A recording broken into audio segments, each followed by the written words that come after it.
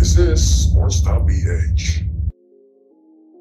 Kilala si Terence Romeo bilang isa sa mga hari ng crossover hindi lang sa PBI kundi sa buong mundo. Mala Kyrie Irving ang kanyang mga galaw, kaya naman isa siya sa mga players na pinag-aagawan ng mga teams.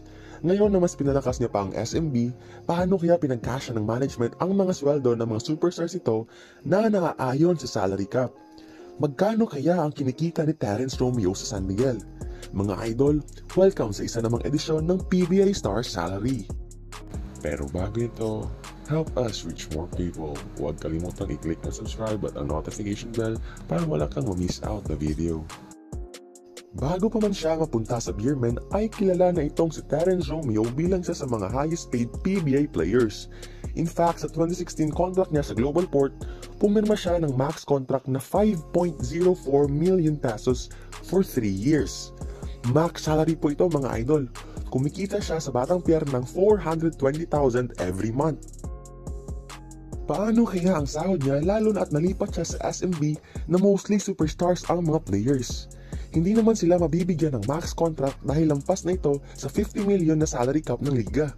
In fact mga idol, si Junmar lang ang naka-max salary sa SMB. Lahat ng star players ng team, sina Arwin, Chris Ross, and Marshall Lassiter ay nag-sacrifice.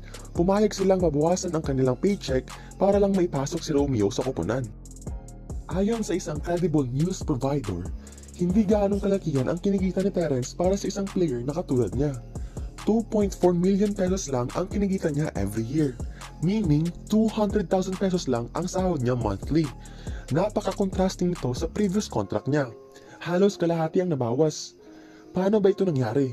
Ayon sa liga, bago mamaterialize ang paglipat ni Dabro ay nag-agree ang dalawang panig sa salary reduction para lang maipuslit siya sa Beerman. Bakit ba nag-agree si Terence sa ganitong setup? Simple lang yan mga idol. One word. Bonuses. Heavy favorite ang SMB. SMC team pa. Tiyak napakagalante ng bonuses.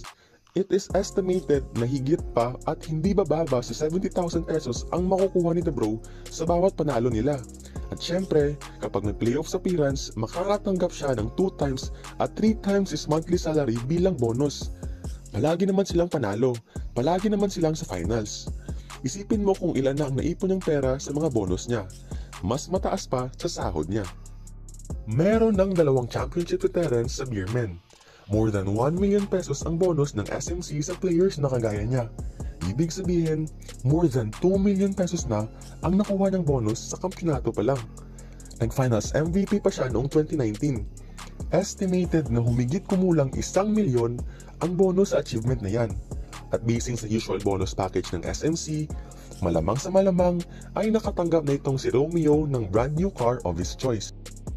Teamwork makes the dream work. The true mark of a successful team is the amount of sacrifice players can make. At napaka-evident niyan sa SMC to give space for Terence. Kulang pa ba or sakto lang ang ganong sahod para sa isang Terence Romeo?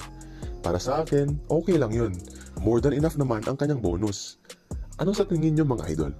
Comment nyo na sa baba.